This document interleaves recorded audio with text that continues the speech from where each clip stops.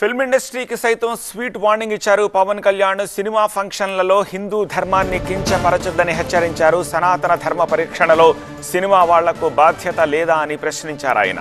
హిందువుల మనోభావాలపై జోకులు వేయడం మానుకోవాలి అన్నారు పవన్. లడ్డూపై జోకులేస్తారా? ఇకపై అలాంటి సాహసం చెయ్యొద్దని డిప్యూటీ సీఎం హెచ్చరించారు. లడ్డూకి మద్దతుగా మాట్లాడండి లేదా మౌనంగా ఉండండి అంతేగాని అపహాస్యం చేస్తే మాత్రం ఊరుకోబోం అన్నారు. అభిమానులు కూడా హిందూ ధర్మ పరిరక్షణ కోసం పోరాడాలన్నారు. సినీ హీరోలను మించి దేశాన్ని ధర్మాన్ని ప్రేమించాలని పవన్ సినిమా అభిమానులకు పిలుపునిచ్చారు. దేశపు యావత్తు ఉన్న సినిమా అభిమానులు అడుగుతున్నా మీరందరూ హిందువులే కదా? అత్యధికులు హిందువులే కదా? మీకు బాధ్యత లేదా మీకు? మీ సినిమా హీరోలు నేను కూడా హీరోనే.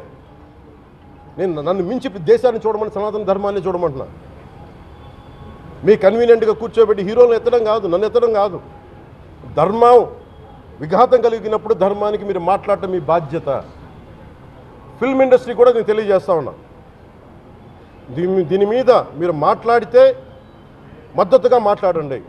లేదంటే మౌనంగా కూర్చోండి. అంతేగాని మీ మీ మాధ్యమాల ద్వారా అపహాస్యం చేస్తే మటుకు ప్రజలు మిమ్మల్ని ఎవరు క్షమించరు.